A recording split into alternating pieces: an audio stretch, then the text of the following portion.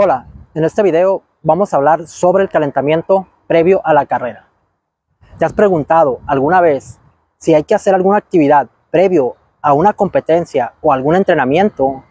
Y si no, ¿te has preguntado si lo estás haciendo bien o cuánto es el tiempo correcto que se le debe dedicar a esta actividad? Quédate conmigo porque en este video te voy a dar las pautas y las estructuras correctas para que lleves un buen calentamiento antes de competir y por consecuencia puedas tener un mejor performance en la carrera, pero lo más importante es que puedas evitar lesiones al correr. Acompáñame en estos siguientes videos, pero quédate hasta el final de este video para darte todas las estructuras de A, B y C y los tiempos correctos que deben de llevar estos calentamientos. El primer paso en el calentamiento es el trote. En el trote nosotros vamos a hacer como mínimo 15 a 20 minutos. Ahora vamos a iniciar nuestro calentamiento. Este calentamiento es suave, este calentamiento eh, va a ser de 15 a 20 minutos como te digo y es algo suave. Es básicamente para, para que nuestros músculos, nuestros tendones eh, se activen, para activar nuestras fibras musculares, para activar los tendones, los ligamentos, para eso es. Así, a este ritmo, es al que vamos a ir un calentamiento. Vamos a empezar este ritmo y, así nos vamos a mantener. Es eso, básicamente, un calentamiento, un trote de calentamiento. Ahora vamos a seguir a los siguientes ejercicios. Bueno, van a ser cinco ejercicios de movilidad dinámica los que vamos a llevar a cabo. Y el primer ejercicio es el siguiente. Lo vamos a hacer de esta manera. Hacemos esto y como si agarráramos agua y nos las echáramos hacia nosotros. Avanzamos dos pasos y volvemos a hacerlo. Que la pierna, que esta pierna quede de recta, que quede la pierna recta y nosotros bajamos de esta manera. Damos dos pasos y con la otra recta y bajamos. Y así vamos haciendo. Podemos dar dos pasos hacia adelante y hacerlo o hacerlo consecutivamente. Esto va a depender de, de tu práctica, porque es más difícil hacerlo así y luego volver con este paso y es más fácil hacerlo así porque entras en tema de coordinación. Cuando tú das más pasos, coordinas más fácil el movimiento y cuando ya lo tienes dominado, es se te hace sencillo hacerlo de esta manera, de un paso y un paso y un paso. Ya dependerá de ti y de tu coordinación. A medida que lo vayas dominando, vas a irlo mejorando y lo vas a ir haciendo paso por paso. Ahora, el segundo ejercicio es el siguiente. Lo vamos a hacer de esta manera. Levantamos la rodilla y jalamos hacia arriba, pero al jalar vamos a levantar también la punta del pie contrario, de esta manera. Y avanzamos y hacemos lo mismo. Avanzamos, levantamos y hacemos lo mismo avanzamos, levantamos y hacemos lo mismo. Este también se puede hacer igual que el anterior, con un paso, un paso, pero dependerá de tu coordinación y la coordinación depende de tu práctica. Entonces, eh, lo puedes hacer como tú gustes, como te más te acomode. Ya como lo vayas dominando, vas a ir poder haciéndolo mejor. Ahora vamos con el tercer ejercicio y es muy similar al anterior. Pero a diferencia de la rodilla hacia adelante, este va a ser con la pierna hacia atrás.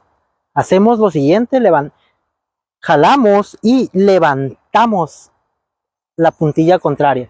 Y nos ponemos de puntilla, levantamos la puntilla contraria e igual. Y seguimos avanzando. Avanzamos, lo hacemos de esta manera. Como te digo, va a depender mucho de tu coordinación. Va a depender mucho de tu coordinación. Si lo haces con varios pasos, de esta forma, o si lo haces a un solo paso.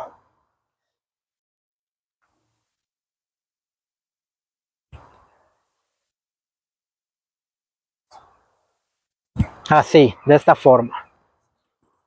Recuerda que al final te voy a dar las pautas concretas de cuánto es el tiempo y la distancia que se tiene que hacer cada entrenamiento. Así que quédate hasta el final. El cuarto ejercicio sería de la siguiente manera. Va a ser como un tipo de desplante. Hacemos de esta manera y giramos la cintura de esta forma. Así llegamos hacia abajo y giramos hacia los lados. Llegamos hacia abajo y giramos hacia los lados. Este es más sencillo, pero es muy efectivo para liberar los músculos que hay entre las caderas y la cintura. El quinto ejercicio es un ejercicio muy sencillo y lo vamos a hacer de la siguiente manera.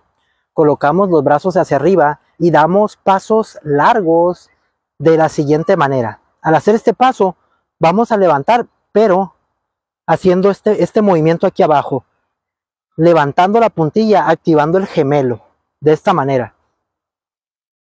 Luego damos el otro y activamos, levantamos. Ok, la tercera parte del calentamiento va a ser la técnica de carrera. Si tú no sabes cómo hacer la técnica de carrera, no sabes los pasos eh, que debes de llevar para hacer una técnica de carrera, ya tengo un video anterior a este, te lo voy a dejar aquí en las etiquetas para que vayas a verlo. Y van a ser los siguientes. Primer ejercicio va a ser el siguiente, las rodillas arriba. Avanzando de esta manera. Segundo ejercicio son los talones al glúteo, de esta manera. El tercer ejercicio de técnica de carrera es el siguiente arriba, un lado, arriba, arriba, un lado, arriba. A, B, C. A, B, C. Avanzando hacia adelante de esta forma. A, B, C. A, B, C. El cuarto ejercicio es el siguiente. Piernas estiradas, caemos con la punta, avanzamos hacia adelante, braceando. Y el quinto y último ejercicio es hacia arriba, patada, hacia arriba, patada, de la siguiente manera.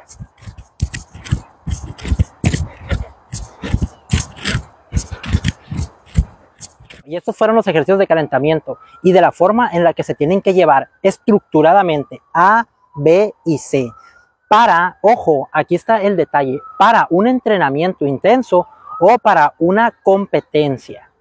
Si solamente es una carrera aeróbica, una carrera de, resistencia en la que no va a involucrar tanta intensidad, lo único que tienes que mover en este, en este paso va a ser el trote de 20 minutos.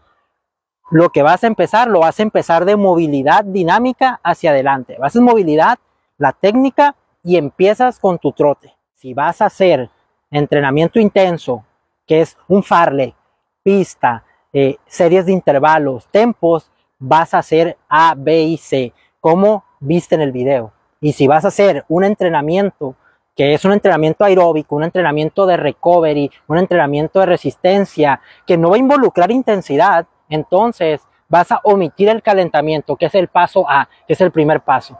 Y eso es todo lo que debes de saber. De esta manera se calienta. Te recuerdo que te suscribas a mi canal, que me sigas en Facebook y que en Instagram ya somos una comunidad de más de 100 mil personas. Estoy como Ismael Valenzuela Run.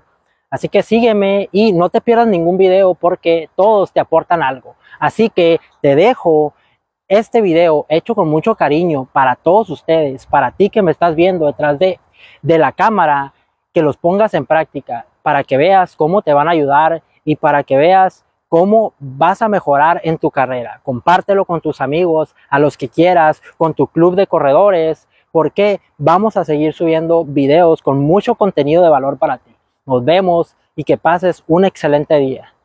Hasta la próxima.